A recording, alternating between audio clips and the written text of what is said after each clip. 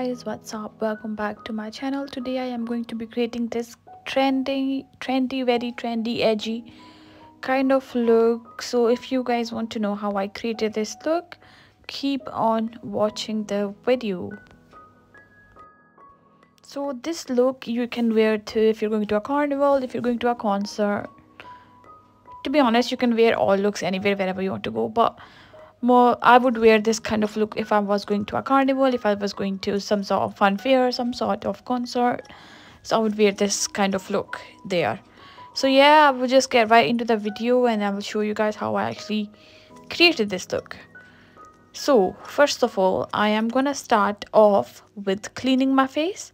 So i'm taking my l'oreal micellar water and just cleaning my face with a cotton pad then i am going to put nivea cream on all over my face especially on my um, under eyes and my eyelids because they are very very dry.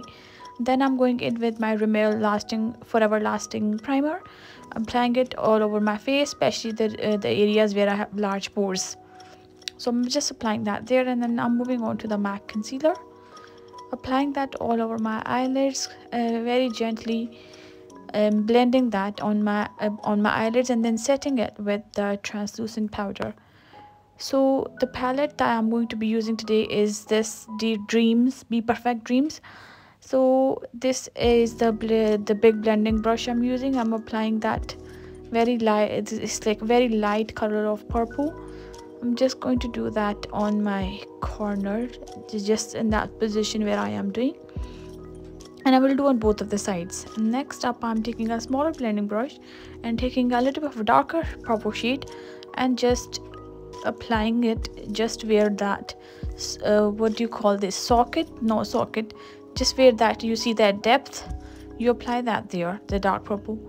And then i'm going on with the black blending brush again with the lilac color. And i was blending the other color out. So now i'm going in with the shading brush. I'm just going to pack that green color on on both of the eyes just like this taking it inside on my where i put the eyeliner as well. So just just dragging across. And with the big brush i'm taking the shade. It's kind of beige kind of shade so i'm just going to blend that with this shade. Blend that green color with this beige kind of shade. Because i just wanted it blended out a little bit. I didn't want to like add any color to mix up any with any other color. So i'm just blending that out. Going it in my crease towards the, the purple color. This green color was very very pigmented and I felt like it was very very hard to blend but yeah at the end I got there. So I'm putting the green pigment on the shimmer shade from the palette all over my eyelid with the with the help of the brush first obviously and then I go I do go in with the fingers as well. So i'm just obviously just to get the shape i was going in with the uh, with the brush. So now i'm going back in with the the shades i used before just to deepen them them up a little bit. And i'm going to repeat the same process on the other eye as well. So here i am just again as i said going back in with the colors just to bring them out just to pop and them I'm out. going to repeat all the steps again on this other eye as well.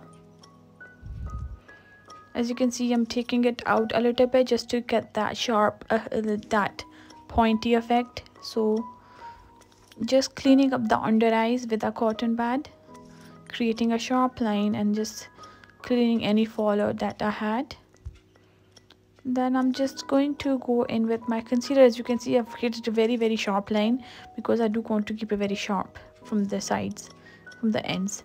So i'm just going in with my concealer just blending it all out.